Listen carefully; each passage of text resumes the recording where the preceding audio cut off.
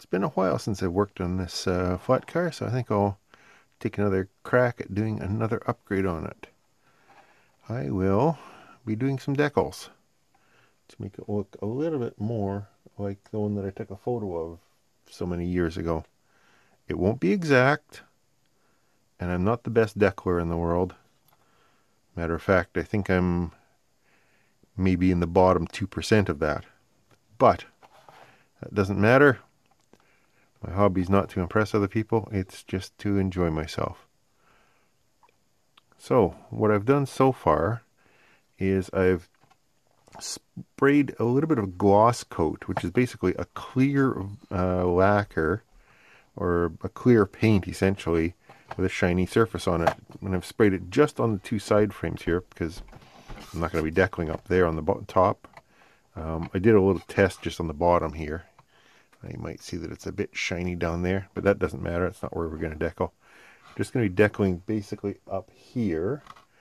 Um, more or less in this area between there and there. Um, there might be some that go up in there, I'm not sure. On the prototype car, the uh, the decals start from basically the the center of the truck uh, on this end and go to about there.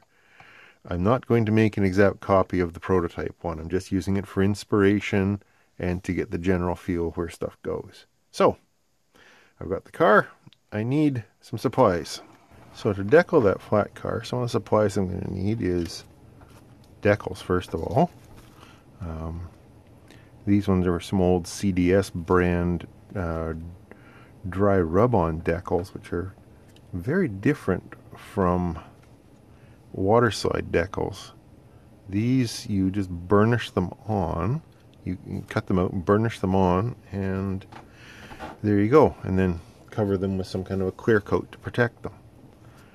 So I'll need some way of holding the car. And for that I'll use my Dremel vise here. Just clamp that up into there I've got rubber jaws on it so that's not going to hurt anything um, the decals themselves.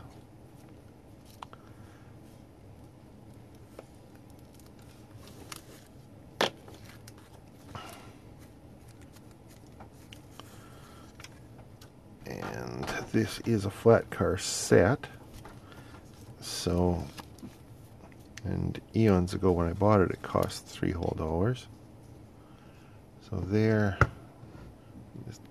zoom into that. There's the set of decals. So, uh, road name times two sides. Um, number, I'm going to use part of this number. The prototype photo I've got is uh, card number 43335, um, which is a maintenance of way number because it's five digits, not six. Um, so I'm I don't care about being completely prototype. I want to be, you know, in the ballpark. But so I'm going to use this number, but I'm going to omit the that leading six. So it's going to be three one zero two nine, um, which still isn't perfectly right. If I want to be super right, I could use uh, one of these fours in there um, and get closer but since the prototype number has three number threes in it, there will be so much cutting and pasting, and I'm just not going to do that. Um, so on the Canadian National, unfortunately, uh, the side that I've got the photo of uh, shows the French side. This one doesn't have a French and an English, so I'm just going to put in English on both sides. And then the capacities. Um, my prototype car is 25,000 pounds. Um, and none of these are that. Maybe I'll use the 60,000. Maybe I'll use this set down here. The lowest weight ones. Sure. Okay. I mean, there's other decals and stuff on my car, uh, my prototype car, that I'm not going to use because they're They're more modern than my era, and I don't have decals to match them anyways. Have I mentioned yet that this is not going to be a contest car? So, the uh, the CN and CN and the road number on the prototype starts just in about there. So if I get, well, can I get those to fit underneath that stake pocket? I think I can. Um, so I'm going to start it a little bit further inboard, but that's fine too. It's going to go right under that stake pocket. So, first thing to do is out what I'm going to be using here.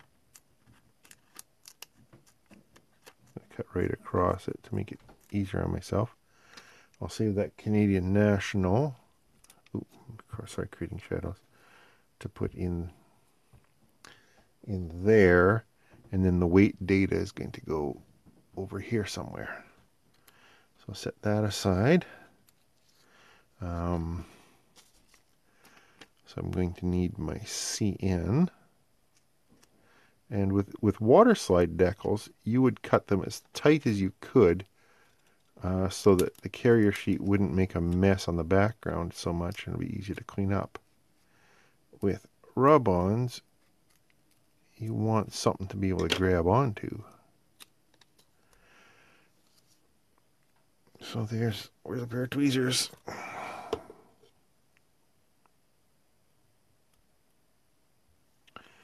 So there, I think I can start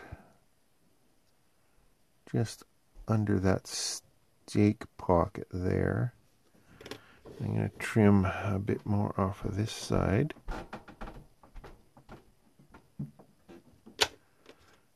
So that it can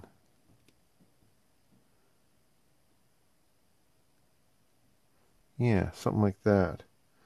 So the instructions suggest tape it in place with a little piece of masking tape so that doesn't keep happening. Also,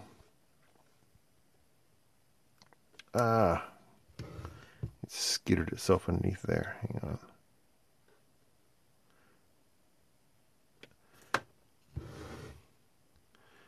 Okay. Part of the problem I'm having here that I've got this sitting on an angle so that I can have it square to the camera.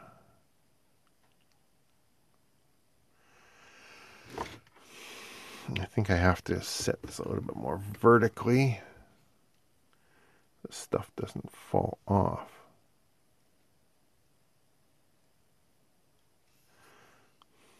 Mm-hmm.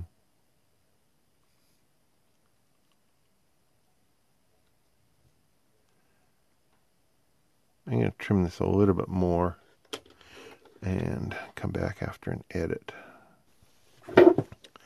Okay, so now I've got that in held in place and they suggest using a dull pencil point as an embossing tool. So I'm going to try my mechanical pencil here and see what happens.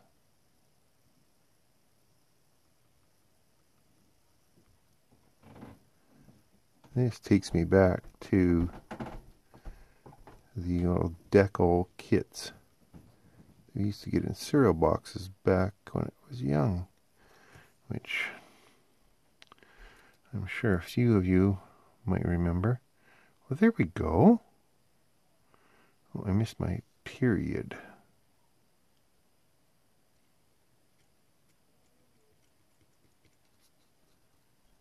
There.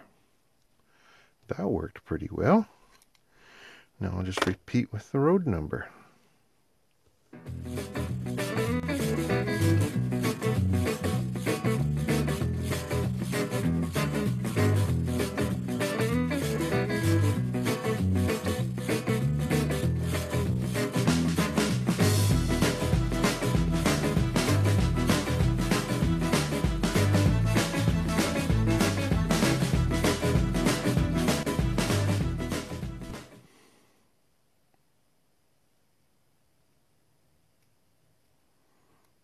That's entirely reasonable. Cool. Now I'm just going to continue on down the line.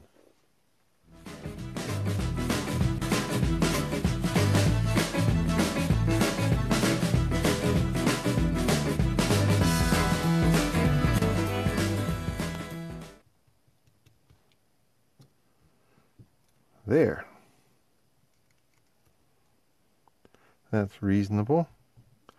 Again, remember, this is a 1920s, 1930s car, depending on whether you trust my, uh,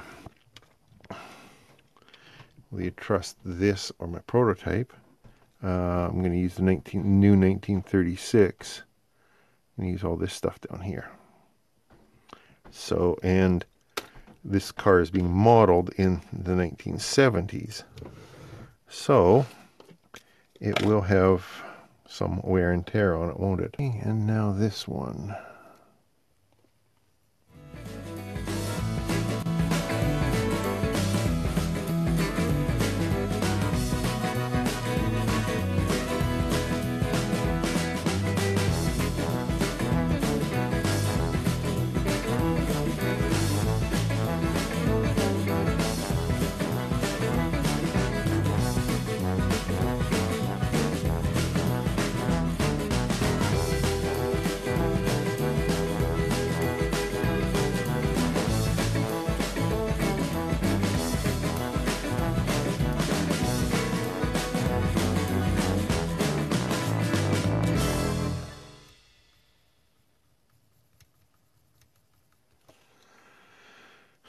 Okay, what does that look like?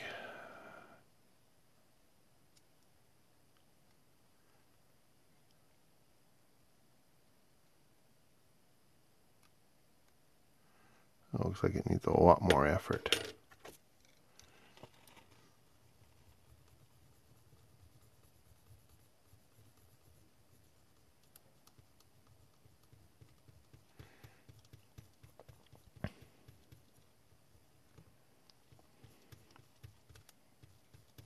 I don't mind if they're not perfect because I am going to weather it.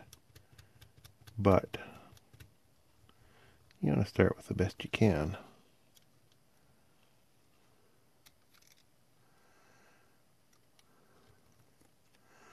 Okay, well, that's not horrible, but with the application of weathering, I think I can get away with it especially when you apply the three foot rule. Okay. I'm going to quickly do the other side. Well, I'm going to do the other side and then the next step.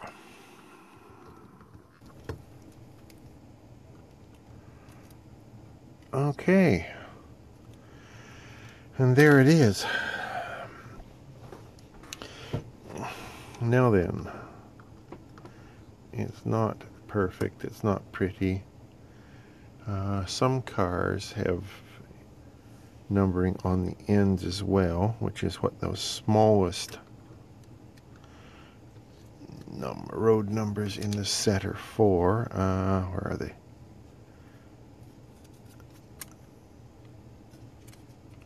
Those ones.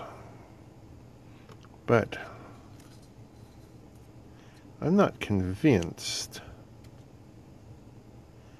that those are going to fit around everything that's there, with, with the grab irons and everything else. Executive decision, since it's my railroad, I'm leaving them off.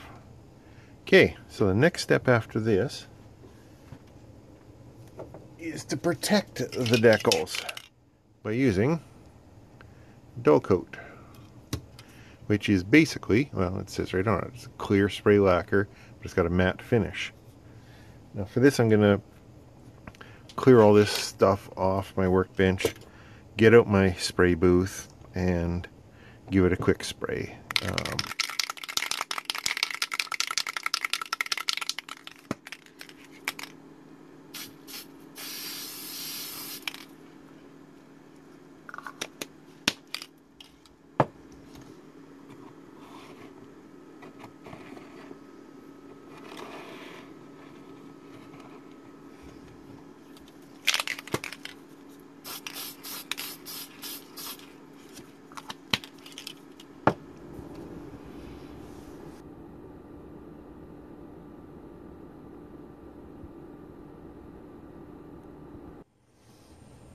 All right, it's the day after. Um, the dull coat is all dried nicely.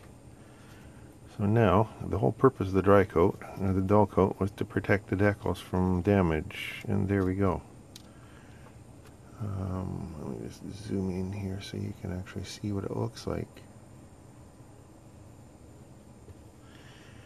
So, how does this work? So there's the decals on there. As I said when I was doing it, this isn't intended to be a contest quality car. This is intended to be a working car for my layout. Um, and I am nowhere near the world's best uh, decaler, but I can live with this on my railroad, you know, especially if I weather it, which I'm not going to do a full weathering right now,